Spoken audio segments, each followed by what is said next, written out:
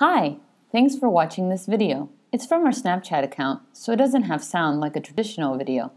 This particular clip showcases the Cherokee Days Festival at the American Indian Museum. Cherokee, three nations, one people. Today we're at the American Indian Museum in Washington, D.C. The museum is hosting its annual Cherokee Days Festival this weekend. Admission is free, so plan a visit. Nation to Nation Treaties between the United States and American Indian Nations. Make sure you see the authentic tribal treaties when you visit.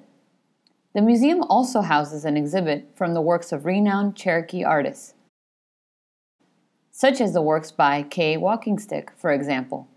The festival has officially begun, and now it's story time. Audiences get to hear stories from Cherokee Nation tribe members. Oh, and by the way, Miss Native America is at the museum today too.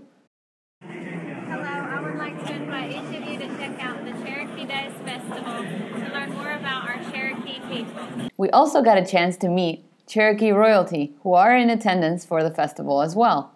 Follow the American Indian Museum on Snapchat. They'll be sharing all kinds of cool stuff this weekend. We sure had a ball. Thanks for watching. If you want more behind the scenes looks at our national monuments and museums, historical fun facts, and even the occasional helpful hint in real time, make sure to follow us on Snapchat. Search for USAGov or use the Snap code.